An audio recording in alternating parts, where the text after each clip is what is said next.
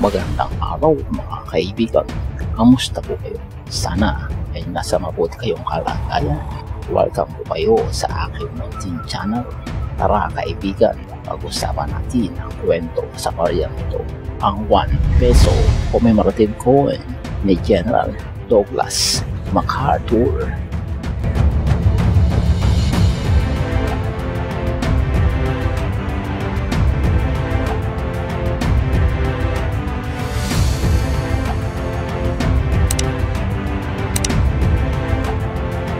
Tingnan naman po natin ang verse ng baryanong ito.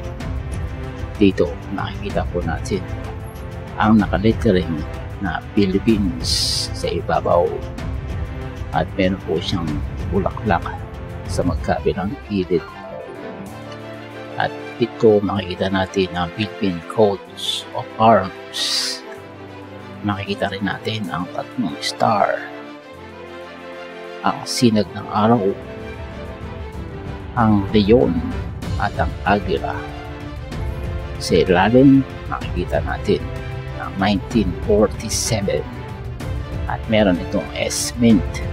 Ibig sabihin, ito ay ginawa sa San Francisco, USA. At meron nakalettering na 1 peso sa ilalim. Yan mga kaibigan. Ito po ang kanyang overs tingnan naman po natin mga kaibigan ang kanyang reverse. Dito makikita natin na may naka-lettering na Defender and Liberator. Sila rin yan. Ganong karugtong of the Philippines. Sa harap or gitna makikita natin ang itsura ni General Douglas MacArthur na nakatagilid at nakasumbrero or nakakap ng pang military.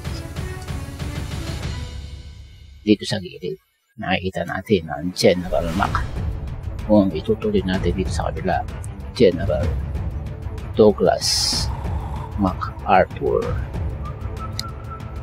Sa ilalim naman ay merong date na October 20, 1944. Yan ito ang kanyang uh, overs mga kaibigan. Ito po ay ginamit na currency noong taong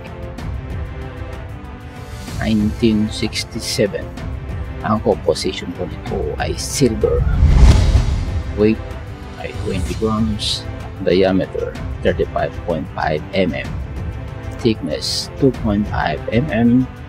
At syempre ang shape ay round dagdag kaalaman mga kaibigan.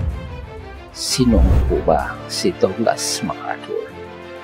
Yan mga kaibigan, konting uh, or dagdag kaalaman po tayo mga kaibigan. Si Douglas MacArthur ay pinanganak noong Enero 26, 1880 hanggang April 5, 1964. Siya ay isang bantog na Amerikanong general na naglingkod noong unang digmaang pandaigdig ikalawang digmaang pangdaigdig at digmaang Koreano. Pinanganak siya sa Little Rock, Arkansas. Umako siya na isang malaking gampanin sa Pasipiko noong panahon ng ikalawang digmaang pandaigdig. Siya ang inatasang mamuno sa pagsalakay sa Hapon noong Nobyembre 1945 ngunit tinanggap niya ang pagsuko ng mga Hapon noong Setyembre Ados 1945.